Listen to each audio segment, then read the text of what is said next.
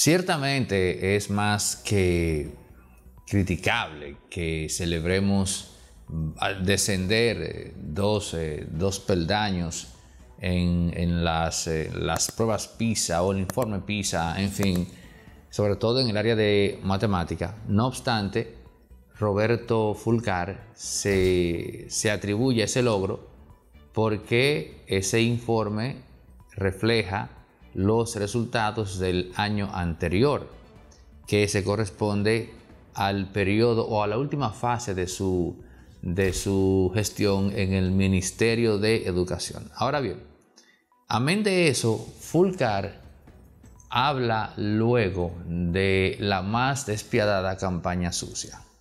Y aquí es donde comenzamos a entrar en un terreno farragoso, no tanto por Fulcar, sino en la línea de tiempo que él dice esto.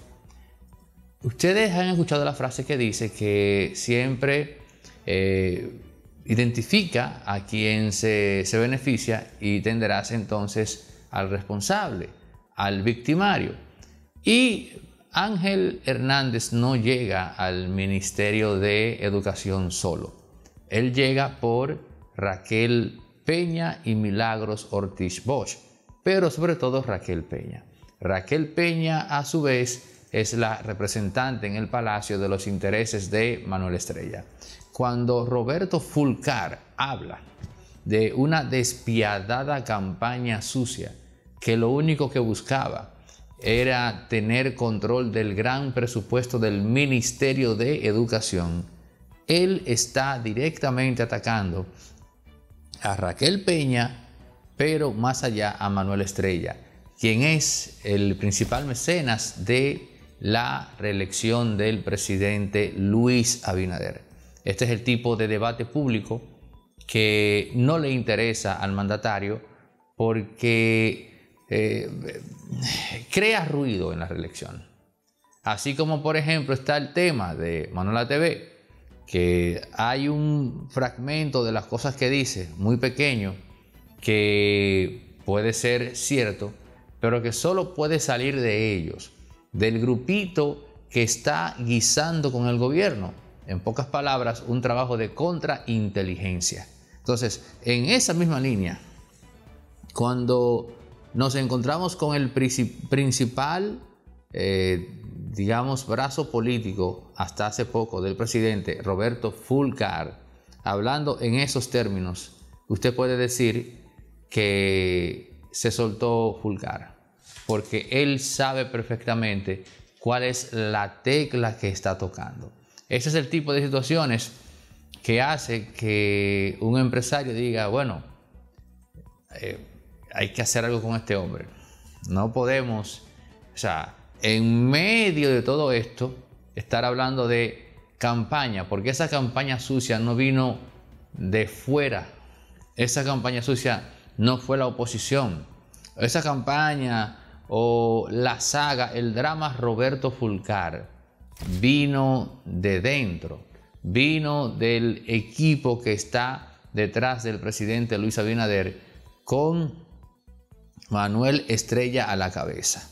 Que ahora el ministro actual, por cierto, se enfrenta, se enfrenta a la prensa de una forma ya frontal porque hay una intimación eh, hacia Alfredo de la Cruz, el colega, y hacia Nayicha Ede, eh, rumbo de la mañana y el sol de la mañana, respectivamente, por el tema del INAFOCAN, que es un instituto que pertenece al Ministerio de Educación, que tendría unas contrataciones con, con la Universidad Abierta para Adultos, pero resulta, dice Ricardo Nieves, y aquí la cosa se pone como más eh, más eh, interesante, que eso es falso y que esos contratos, esos contratos vienen de lejos, o sea, vienen de otras gestiones y que, y que el ministerio como tal suele, suele contratar a las universidades, en este caso exceptuando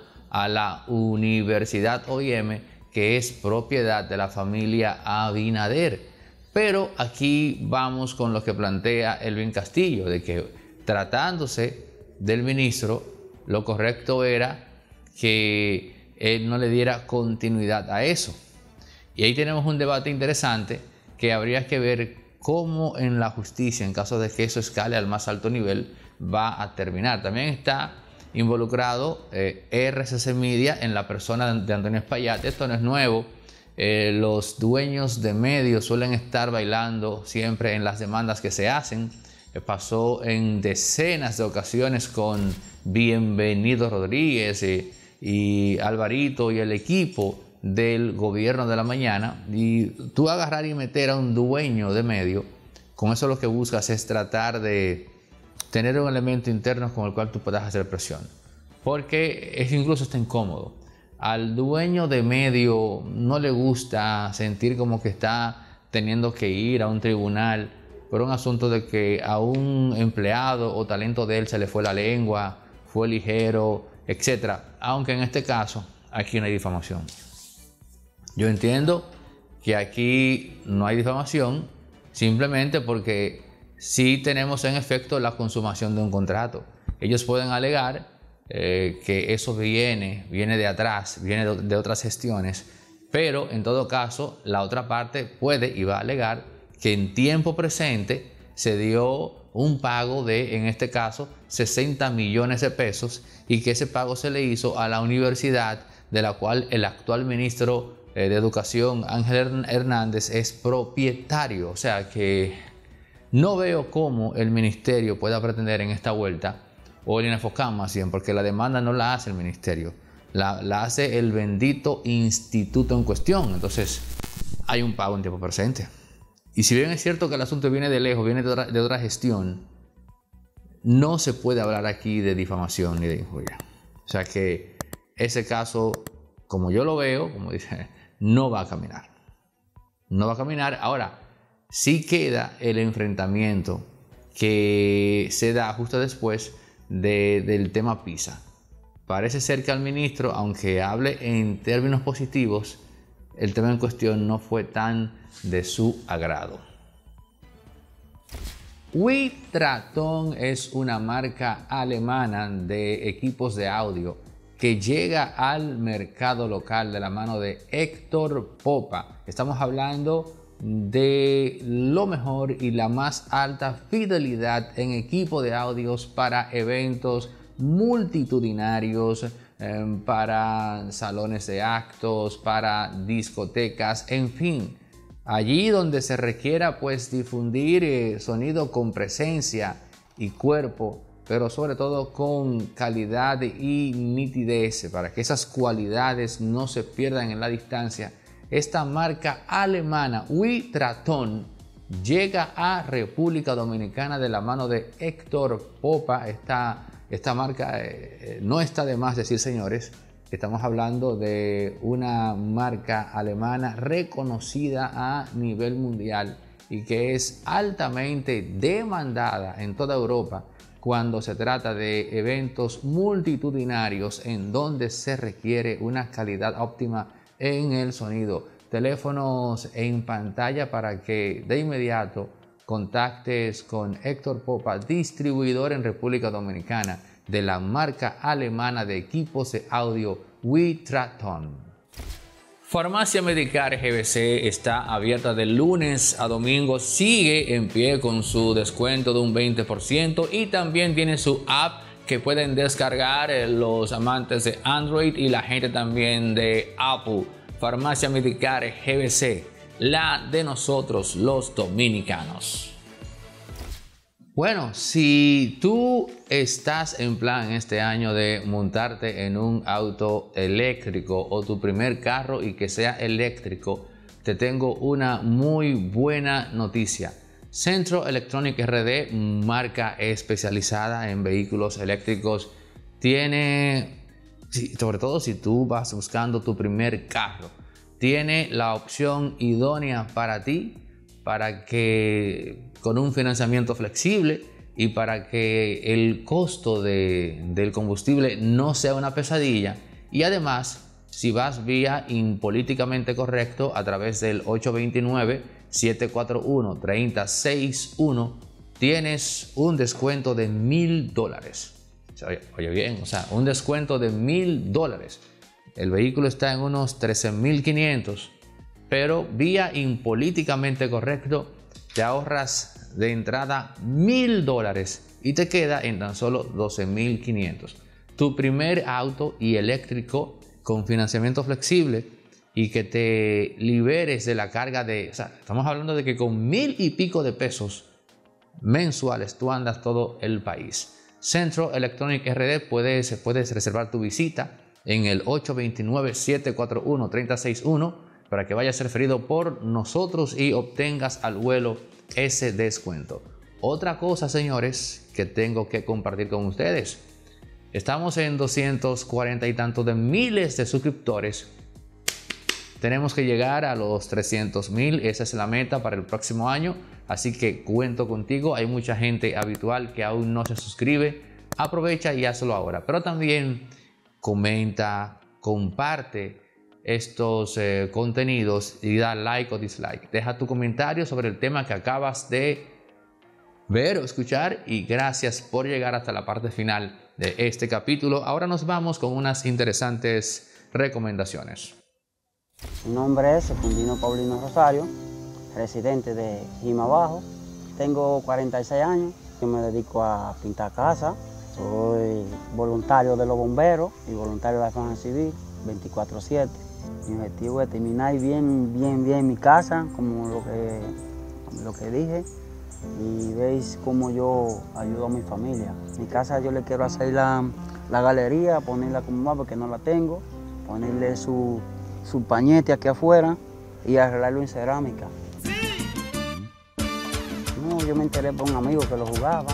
Dice la muchacha, la que me vendió el ticket, juégalo ahora que tú te lo vas a saltar. Y cuando lo jugué, fui afortunado. Si el otro es que me puede dar a mí para yo hacer y realizar lo que yo quiero, yo tengo que seguirlo jugando. Yo dije, yo nomás dije, ay Dios mío, gracias que me pusiste ahí buena mano. Al fin voy a terminar mi casa. Yo me siento tranquilo, feliz, lo que pasa es que no puedo estar ahí brincando, porque si me da un ataque me muero. Que jueguen el otodón como yo lo, jugué para que gocen como yo estoy gozando ahora. Porque dígame, jugarlo para usted gozar. Si usted no lo juega, no lo va a gozar. Yo lo voy a gozar hoy, sí. Un millón de pesos sin, sin dar un peso. Atención a todos los profesionales, emprendedores y empresas medianas y pequeñas que quieren tener su contenido de calidad circulando por las redes sociales, dando a conocer sus servicios. En Resorte Media hemos habilitado una unidad audiovisual especializada en la producción de contenido corporativo, empresarial y para todo aquel emprendedor que quiera acogerse aquello de que dice que una imagen vale más que mil palabras en efecto podrás tener las mejores imágenes, la mejor calidad al precio más competitivo del mercado para dar a conocer tu servicio a todos acá en República Dominicana. E incluso si tu empresa capta clientes en el extranjero, también podrás contar con eso. Contáctanos, escríbenos al 829-741-361 para que arranques desde ya a colgar contenido en tus redes sociales con la mejor calidad audiovisual posible, la que Resorte Media pone a tu disposición con el presupuesto más eh, asequible del mercado.